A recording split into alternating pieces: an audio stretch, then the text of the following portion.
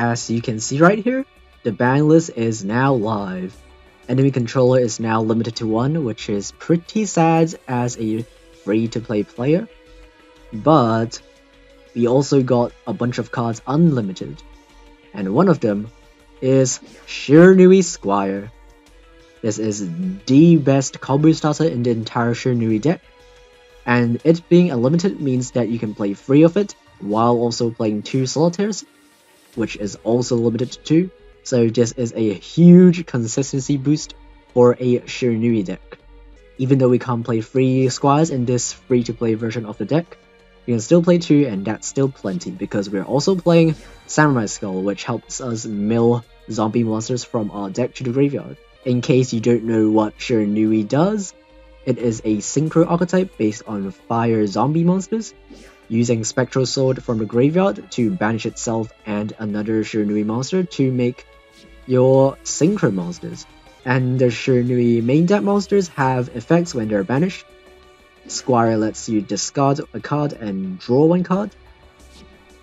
Solitaire allows you to special summon a Shiranui from your banished pile. Samurai recycles any Shiranui monster from a graveyard. And Spirit Master destroys a face-up card on the field. This is our main form of disruption. We will banish it during our opponent's turn using cards like Samurai's on field effect or Sealing Ceremony of Katon. This is a really, really good trap in our deck. It is just a R rarity continuous trap, so it is super easy to obtain. And once returned, you can banish a fire monster from your graveyard to banish any card from your opponent's graveyard. It doesn't have to be monsters, it can banish spells and traps as well. And not only does this disrupt our opponent's graveyard, if our opponent is playing decks like Photons, you can banish their Photon Dragon when they try to revive it, and it also triggers our Shiranui monsters effects. For example, we can pop cards with Spirit Master, we can cycle our hand with Squire, or we can Special Summon any banished Shiranui monsters with Solitaire. And we can also summon back banished Synchro monsters. It can summon any monster, and that effect is really good. And also, Raigeki Break is in the same mini box, so we can play two copies of it. It's just a good stable trap overall, and its discard cost can be useful when we want to discard our Spectral Sword if we draw it. And since Raigeki Break destroys any card, we can use it as a monster or back row removal.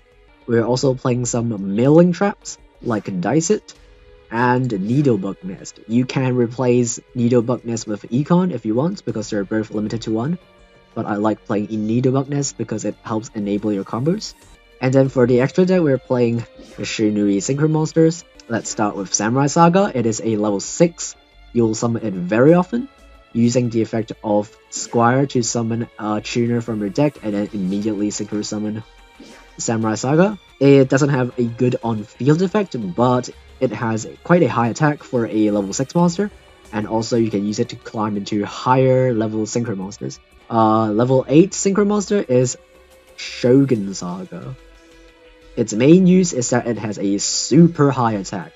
So its its base attack is 3000, which is already quite a lot, but it even has a attack boosting effect.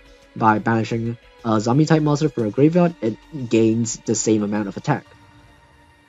So this is a really powerful OTK tool, and even if it's destroyed by battle or card effect, you can return any banished zombie type monsters with zero defense from your banished pile back to your graveyard. And for our boss monster, we can play Shiranui Sun Saga. It is level 10, but it is quite easy to summon using the graveyard effect of Spectral Sword, banishing itself, and a Shogun Saga or you can just have Shogun Saga and another level 2 tuner on field to summon Sun Saga.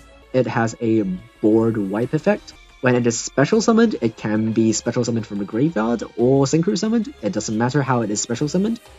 It can still return any number of zombie type synchro monsters that are banished or in your graveyard, and then destroy equal amount of cards that your opponent controls. And one thing to remember is that this effect destroys exactly the amount of cards you return.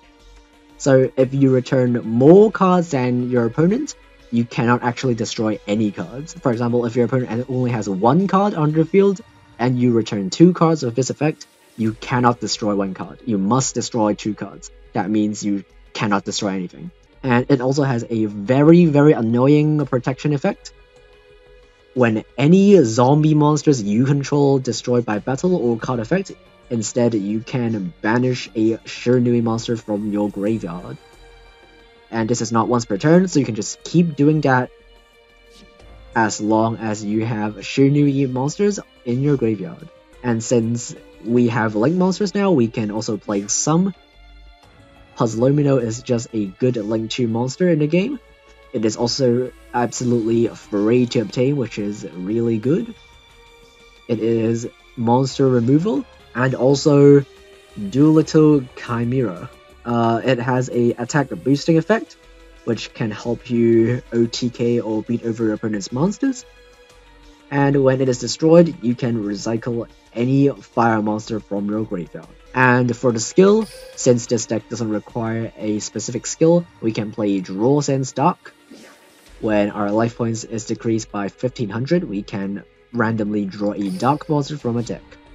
And since we're only playing a singular dark monster, which is Samurai Skull, we are basically guaranteed to draw Samurai Skull when we activate our skill. And it can help us mill our Shiranui cards from our deck to start our combos. And also, if you have more Shiranui cards, you can play Triple Squire, and also you can play three copies of Shiranui Story. This is a really, really powerful quick play spell, which allows you to special summon Shiranuis from your deck. In that case, you might want to play more Spirit Masters because you want to discard Spirit Master of your Shiranui Story. And then you might want to reduce a little bit of Samurai Skull, and then reduce the amount of Katon, and then remove some Raigeki Break. So uh, if you are playing a more expensive version of this deck, your deck might look something like this. If you want to keep your deck 20 cards. But you can still always add more spells and traps, like staples, you can add Raigeki Break, you can add Book of Moon, you can add Warning Points, you can even add Crackdown if you have it. For a 20 card combo Shiranui build, this is probably what you will have and I have also posted this deck on dlf2p.com, my own website. So if you want to check it out or check some of the older decks that I have made in my channel, you can go to the link in the description. Hmm, Eagle Claw. Uh, what does this do? Uh, once per turn, if a trap card- Oh, it negates traps! That's not good. Uh, but we can still bait negate using Raigeki Break and then use Katon to banish Spirit Master from our graveyard. Which we will mill right now. Yeah, it's not the end of the world, but it's still annoying. And we'll just enter in here. Let's activate Katon, and then use the effect well, one good thing about Katon is that it banishes for cost. So even if our opponent negates it with Eagle Claw, we can still activate the effect of Spirit Master, because it is already banished as a cost. Yep, it is negated. That's fine, we still get to banish Spirit Master, and then we can pop our opponent's Utopia. Boom. Nice. And now if our opponent tries to summon any monster, we'll just pop it again with Raigeki Break. Oh, it's Karma Cut. Oh, he doesn't have anything else. Oh, does he know that if he Karma Cuts my Samurai Skull, can activate its effect? it has an effect when it is leave when it leaves the field by card effect. Uh, so that's why you never use an effect to remove Samurai Skull on the field. You always just run over it by battle. Otherwise, it'll summon another zombie from your deck. And things will get even worse for our opponent. It's cool to summon Sun Saga again. And let's... Oh, come on! Why won't you let me deal lethal? It just feels wrong to not play Chris Crystron's after it's unlimited. Oh, are you trying to summon something from a graveyard? How about no? Activate Katon, I banish my Squire, and then I banish his gimmick puppet. And that's amazing. And then Squire has its effect to draw a card and then discard a card. So let's draw one and then discard Samurai. But I don't see a lot of people playing gimmick puppets. Yeah, there's the link. Um, the link monster's effect doesn't activate when it is summoned. It is a, a spell speed 1 effect, so I can just destroy it now to prevent him from activating its effect. Um, but I'm still gonna win probably. Oh, he's having free cards. That's not cool. We can activate the effect of Spectral Sword from a graveyard, and that enables our entire combo. We'll banish the Solitaire that we just sent to the graveyard. And then summon our second level 6 zombie Synchro Monster. And Solitaire will revive. Yeah, we'll summon back the Spectral Sword. And yeah, this combo is made possible because we have uh, extra monster zone. And then we can do it all over again. This time using the Samurai from our extra monster zone to summon Shogun from our extra monster zone. And then uh, we will banish, let's actually banish Spectral Sword. You'll see why in a minute. Oh, he's gonna compose back my... Oh, that's actually okay. Oh, that's not okay, I lied. Triple compulse! Wow, this guy. You know what? Respect. Huge respect. Just casually draws three copies of compulse.